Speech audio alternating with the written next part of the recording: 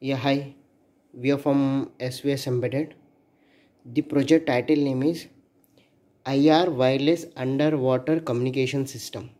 So in this in this project, we are using two parts. One is transmitter unit, another one is receiver unit. In the transmitter unit, I am using power supply, Arduino, three switch buttons, IR transmitter with 38 kHz frequency transmitter, and a receiver TSOP 1738 IR receiver module and Arduino Uno R3 three LEDs LED 1 LED 2 LED 3 green red orange 5 volts power supply unit. So transmitter will transmit the data receiver will receive the data through underwater communication. So here we are using water communication. So this is water bottle. Okay so here i'm using two arduino boards and two power supply modules bridge rectifier filter capacitor filter capacitor 7805 regulator and one led same bridge rectifier filter capacitor 7805 regulator and one led so arduino uno r3 board. So here transmitter it is connected to the ir led ir 38 kHz frequency transmitter module okay bc547 transistor and three toggle switch buttons. On off like on off type switch button. One two three switch buttons. And here receiver is arduino uno r3 and green red orange. Three 100 ohm resistor. And ir photodiode. 38 kHz frequency ir photodiode TSOP 1738 38 kHz receiving frequency receiver and the transmitter. So in the transmitter part I connected A0 A1 A2 switch buttons and I am sending the data in the form of uh, I am press individual I am sending the value.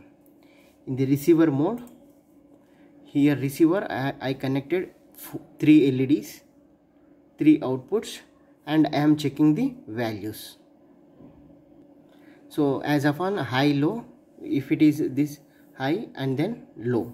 So bulb led 1 on led 1 off led 2 on led 2 off led 3 on led 3 off. Yeah let's start with the power supply. Okay.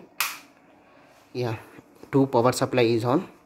So transmitter module three switch buttons IR transmitter IR photodiode three LEDs okay? Now i am so underwater okay?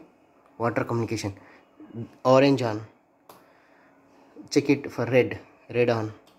Green. Green on. Three on. So i am passing the switch button through arduino arduino is sending the data to the water communication. Okay?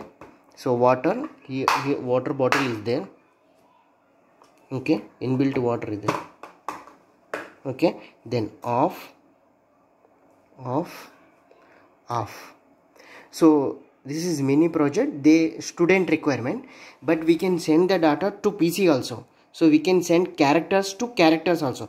So we can type any character. Here you can use any display lcd or anything. Uh, you can see the data onto the lcd monitor also. So if you type here here to here also. But as per student requirement i am sending simplex communication means one communication. It is transmitting data it is receiving data. Same time you can transmit and you can receive. So full duplex also possible. As upon the student requirement side they said only one is enough for me means one transmitter and one receiver. So full duplex also possible transmitter receiver you can connect pc here also lcd to lcd you can type the data here that will receive. That type the data it will receive so you can send you can send any sensor data or anything. You can transmit the data through IR and here it will receive it will it will show you the data. Then on. Three LEDs on. Off off off. So underwater communication system. So here the water bottle is there. So as protection purpose I taken. So with the water it is transmitting the data and it is receiving the data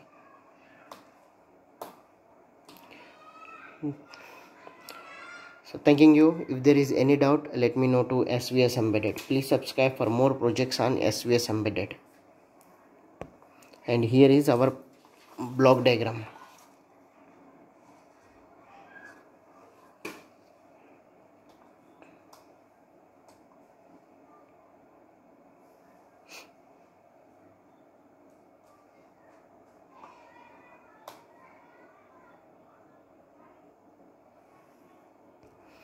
so three LEDs on three LEDs off thanking you. If there is any doubt let me know to SVS embedded